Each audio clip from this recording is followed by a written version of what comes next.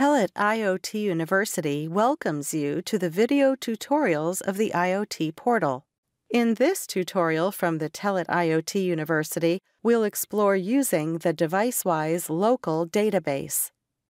One of the features of the DeviceWise Workbench software that you may not be familiar with is the built-in local database. The database uses an embedded SQLite engine and provides a lightweight database that can be used by the application logic of your triggers for a variety of tasks, such as temporary storage of data, lookup tables, or long-term collection of data. Today we're going to create four triggers to interact with the local database.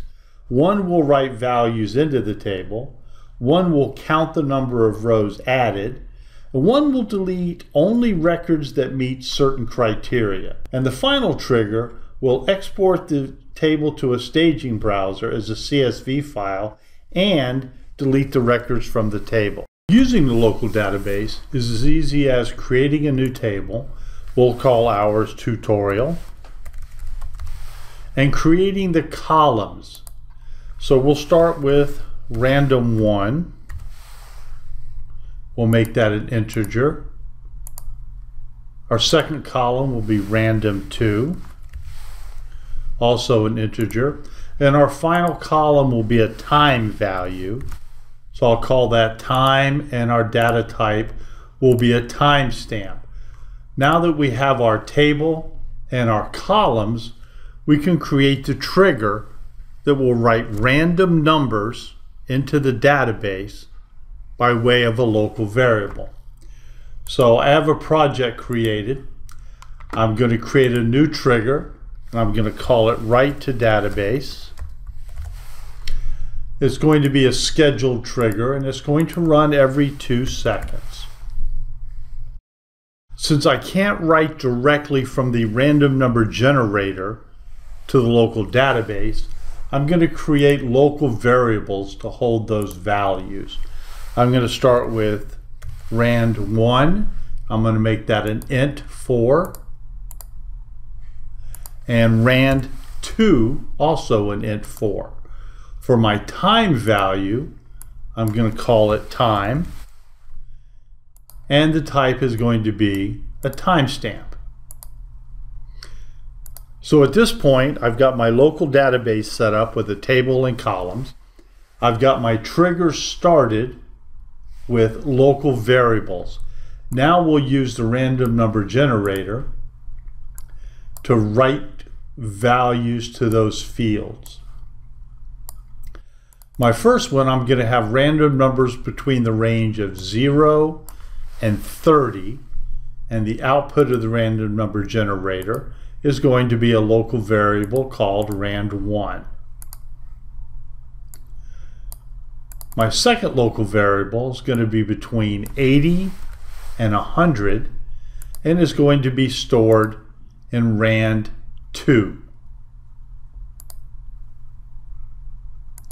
For my time value, I'm going to use from the date and time section, get date and time. I'm going to use the local time zone and the output of this is going to go to my local variable for time.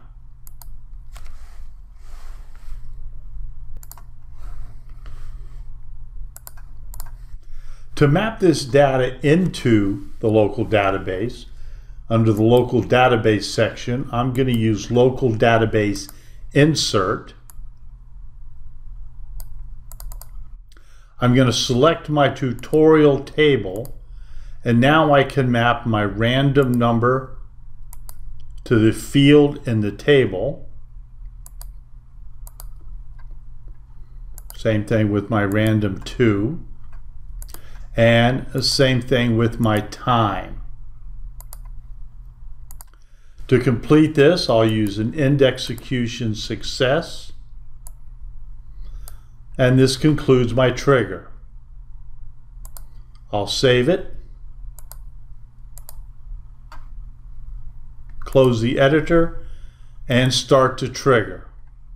As always, I'm looking for successes. A quick refresh of the screen shows me that I am getting successful executions of this trigger. So let's go view our data. Back to the local database, back to the tutorial table, and I refresh it. I can see I have in random 1, I have random numbers between 0 and 30. And in random 2, I have values between 80 and 100, along with a timestamp. Local database inserts probably the most popular of the local database functions, but there are several others we're going to look at today that are also very powerful. Our next trigger is going to be used to count the rows in the local database. Again, this is going to be a scheduled trigger. I'm going to run it every two seconds. And the function for that under local database is local DB count. All I have to do here is select the table and tell it where I want this value written to. So we can monitor it, I'm going to write this out to a global variable called dbCount and close this. An end execution success. I'll save the trigger. Close the editor. And start the trigger and look for successes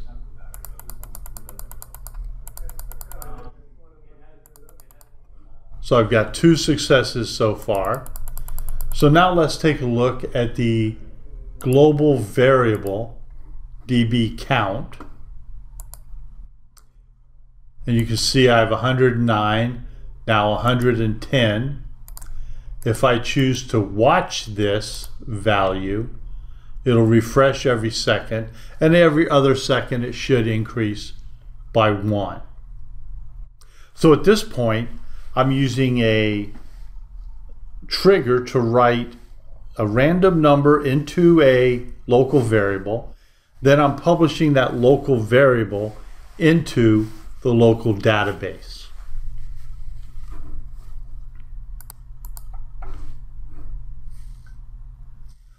We could further refine this trigger by telling it to count only certain values. So I'm doing the local database count. So now I'm going to only count the values where random 2 is greater than 95. If you remember, the range for this is 80 to 100. So about 20% of the values, 25%, should be over 95. And save this. Now when we put a watch on that variable,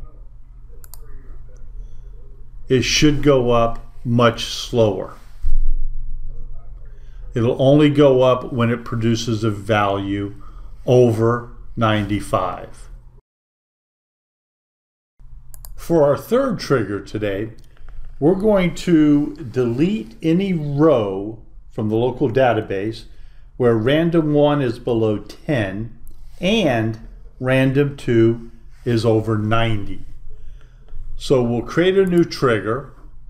We'll call this delete when conditions are met. I'm going to make this an on-demand trigger so I can fire it whenever I want to. The command for this is local db delete. I'm going to select my tutorial table and here's where I set my conditions. My condition is going to be random 1 less than 10 and random 2 greater than 90. I'm doing that because if these values are in that range, everything is normal. They're of no value to me. and I, there's no need to store them. So we can see how many rows have been deleted. I'm going to send that information to another global variable called rows deleted. And an end execution success. Save this, close the editor, and I'm going to start this trigger. But before I do it, I want to bring up the variables tab and do a watch on rows deleted. And you can see right now there are zero rows deleted. When I go back to my local database trigger, fire this on-demand trigger, look for a success, there it is, back to my watch, and you can see I deleted 45 rows that met that criteria.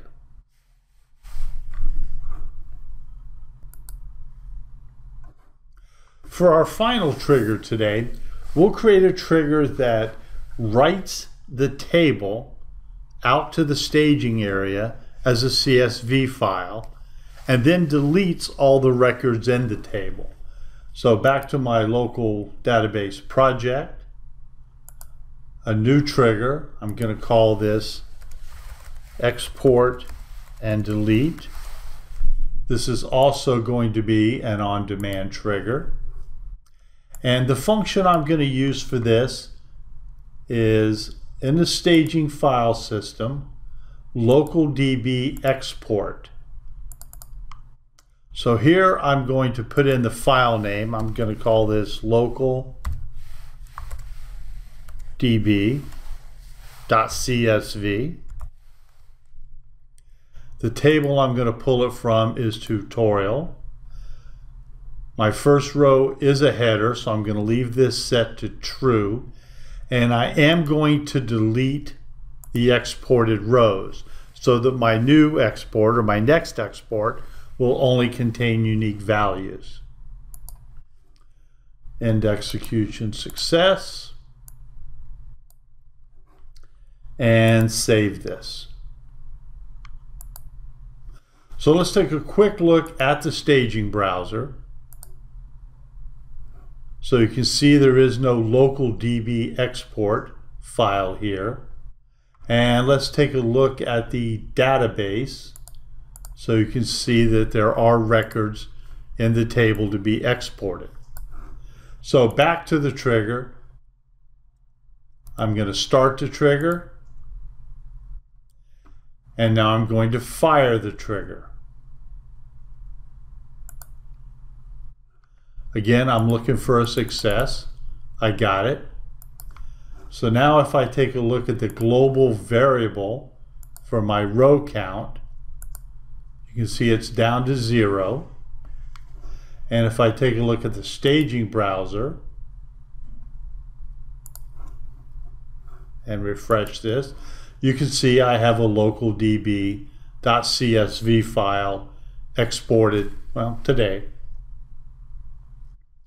So in a future tutorial, we'll take a much closer look at the staging browser. This is an incredibly powerful feature of the DeviceWise Workbench uh, that if you're not using, you probably should be.